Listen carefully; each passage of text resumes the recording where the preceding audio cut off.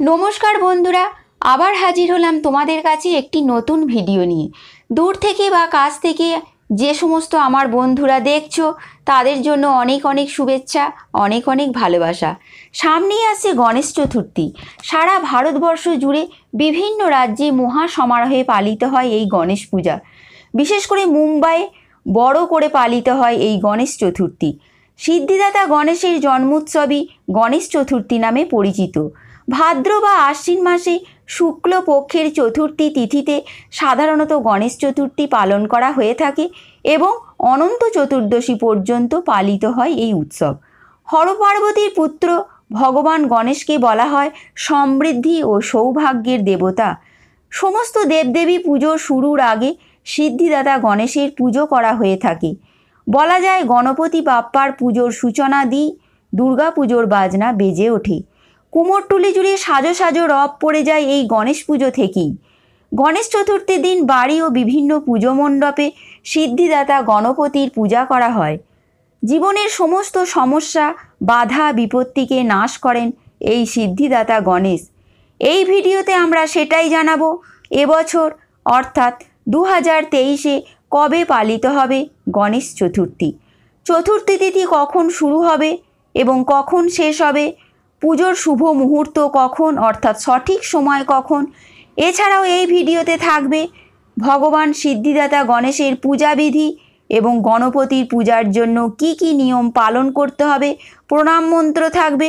এছাড়া পুষ্পাঞ্জলির মন্ত্র আমি তোমাদের সঙ্গে এই ভিডিওতে শেয়ার করব।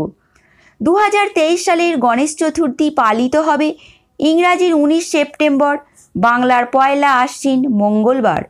চতুর্থী তিথি শুরু হবে আঠারো সেপ্টেম্বর দুপুর বারোটা উনচল্লিশ মিনিট থেকে চতুর্থী তিথি শেষ হবে উনিশ সেপ্টেম্বর দুপুর একটা তেতাল্লিশ মিনিটে।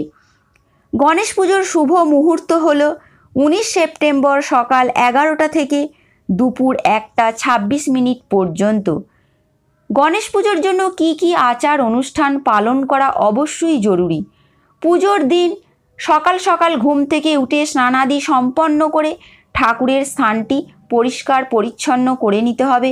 এরপর ভগবান গণেশের মূর্তি বা পট যে যাতে পুজো করবে, তাতে নতুন ধুতি এবং পইতে জড়িয়ে চৌকিতে লাল অথবা হলুদ চেলি বা আসন পেতে ভগবান সিদ্ধিদাতা গণেশকে বসাতে হবে।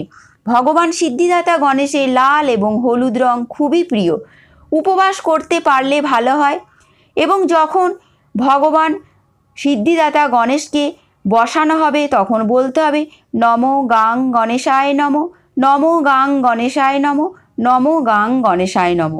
নিয়ম অনুযায়ী দুপুরে শুরু হয় সিদ্ধিদাতার আরাধনা। কারণ শাস্ত্রমতে বলা হয়ে থাকে, ভরা মধ্যাহ্নে। অর্থাৎ ভর দুপুরবেলা জন্মগ্রহণ করেছিলেন পার্বতীর পুত্র ভগবান গণেশ। মন্ত্র জপ করে ষোড়শ উপাচারে সিদ্ধিদাতার পুজো করতে হবে। পুজো শুরুর ক্ষেত্রে ঘিয়ের প্রদীপ জ্বালিয়ে সংকল্প করতে হবে। আর হ্যাঁ সব থেকে যেটা উল্লেখযোগ্য বিষয় হলো, গণেশ পুজোয় কখনোই তুলসী পাতার ব্যবহার করা যাবে না। মূর্তিকে স্নান এবং দেবতাকে ভোগ উৎসর্গ করতে হবে। ভোগ হিসাবে লাড্ডু সিদ্ধিদাতা গণেশের খুবই প্রিয়। এছাড়াও ভোগের সাথে মোদক অবশ্যই দিতে হবে। কর্পূর ও ধূপ দিয়ে আরতি করতে হবে।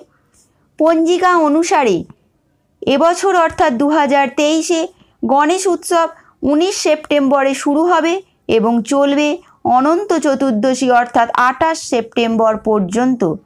এদিন অনন্ত চতুর্থীতেও পুজো শেষ হবে।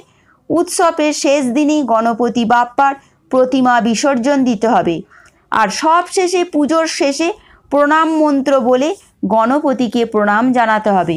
প্রণাম মন্ত্রটি হল, একদন্তং মহাকায়ং লম্বোদর গজাননম বিঘ্ন বিনাশাকং দেবং হেরম্বম প্রণমম মহম।